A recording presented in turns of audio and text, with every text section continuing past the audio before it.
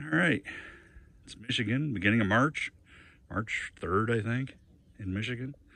Still got piles of snow everywhere from drifts and what have you. Chickens are out foraging around. There they are way over there in the brush. But, ooh, spinning back around here. Yep, there they are, having some scratch. The hen house is doing good. Still winterized though. I got a flock block in the chicken run. And uh, I got a 50 pound feeder right here. Just filled this up with some some pellets. It's a great feeder. Uh, I got one inside the, the coop or in the hen house as well as this one here in the coop and I wouldn't I wouldn't do anything else now. It's the best thing I've ever used. There's my Omlet door. There's their little window.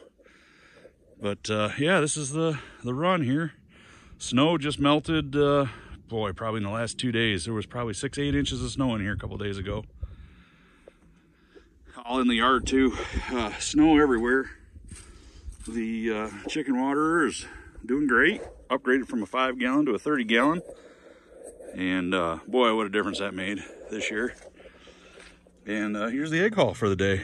They did a good job. Way to go, chickens here we go. There we're out there. Here's Cosmo. He's out helping with the chickens. Making sure they don't get in trouble.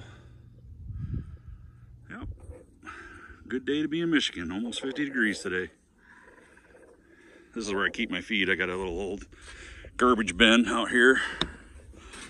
There's my feed and keep loose straw in here, but I'm out for their nesting boxes.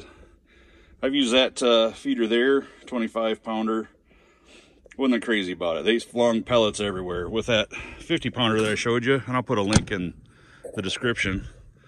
Uh, I haven't had any problems with them flinging feed all over the neighborhood, basically.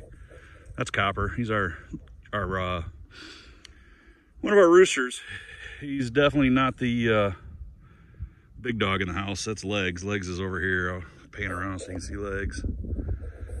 Legs is in charge. That's it's his hen house for sure. So, yeah. anyway, beautiful day in Michigan. Thanks for watching. Give me a thumbs up if you would. Thanks.